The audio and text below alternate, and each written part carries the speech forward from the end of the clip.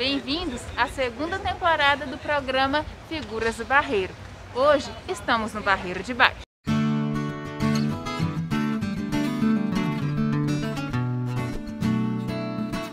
Sabia que a Uninternet, grande parceira da TV Jornal Milionários, completou este mês o primeiro ano de vida? Parabéns a toda a equipe e vida longa! O entrevistado de hoje é Dimas Lamonier, que comanda o perfil do Instagram Ruas do Barreiro. Grande conhecedor da nossa região. Ele é formado em Engenharia Elétrica e Administração pelo FMG. Eu vim para o Barreiro em 1976, né? Vim para do interior aqui para a capital para estudar, para trabalhar e vim parar aqui no Barreiro. E aprendi, aprendi a gostar. Daqui é que eu fui para a universidade, daqui que eu consegui meu primeiro trabalho, daqui que eu consegui meus primeiros amigos.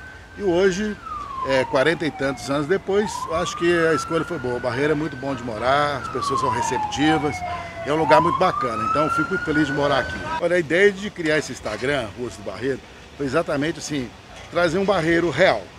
Que muita gente às vezes critica, fala mal do barreiro, porque não conhece. Tem muita coisa maravilhosa, muita coisa bonita, muita coisa histórica, muita coisa de natureza.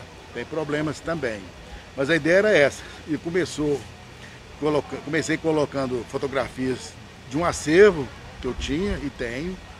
E depois tive a ideia de pegar contribuições de seguidores. Então as pessoas passaram o Instagram para ser autoconstruído. As pessoas mandam as fotos e a gente, e a gente posta. Então é isso, era engrandecer o barreiro. Hoje, na verdade, ele virou um portal, que, por exemplo, a pessoa sumiu um cachorro, perdeu uma moto, ele manda, a gente publica.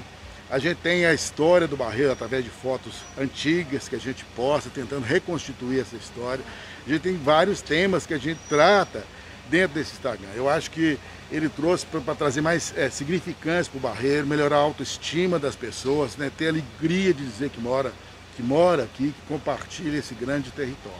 Bom, o recado principal que eu tenho que dar é cuide da sua saúde, a pandemia não acabou e valorize o Barreiro, valorize o lugar que você mora, defenda, manda foto para a gente, ajuda a construir nós começamos há quatro anos, timidamente. Hoje a gente tem uma demanda muito grande. Se for necessário postar 10 fotos por dia, a gente posta. Tem até acervo para colocar. Tem famílias aqui do Barreiro que mandaram fotos antigas, tiraram dos álbuns para a gente colocar. A gente quer continuar fazendo esse grande trabalho e para isso a gente precisa das pessoas.